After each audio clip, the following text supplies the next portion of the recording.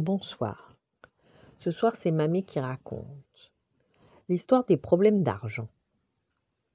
Salut, cochon fendu, dit Buzz l'éclair.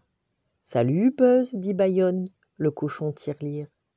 Tu t'habitues bien à la vie ici, dans la chambre d'Andy? La vie sur cette planète est assez intéressante, répondit-il. J'ai hâte de donner un rapport complet à ma base. Bayonne roula les yeux. D'après lui, Buzz était un peu cinglé. Il n'avait pas réalisé qu'il n'était pas réellement un ranger de l'espace. Alors, continua Buzz, aujourd'hui j'ai remarqué qu'Andy mettait des disques en argent dans la fente que tu as sur le dos. Et ensuite, il réside dans ton estomac? Euh, Eh bien oui, euh, commença Bayonne en caressant son ventre plein, mais. Ha ha cria Buzz. J'ai déterminé ta source d'énergie. Quelle forme de vie intéressante tu es. Ça va carrément le faire dans mon rapport. Bayonne secoua la tête, alors que Woody et le reste de la bande les rejoignaient. Qu'est-ce qui se passe? demanda Woody. Salut, cow-boy, dit Buzz l'éclair. Je m'informais juste sur la source d'énergie du cochon. Les pièces dans son ventre? expliqua Bayonne. Non, Buzz, expliqua la bergère.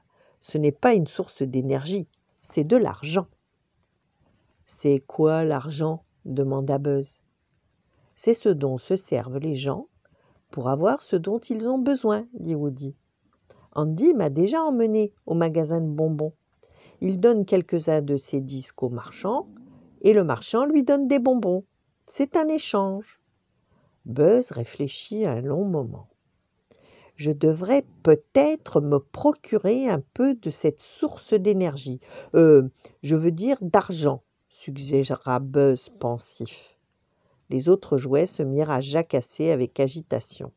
Ils n'avaient jamais pensé à ce qu'ils feraient s'ils avaient vraiment de l'argent.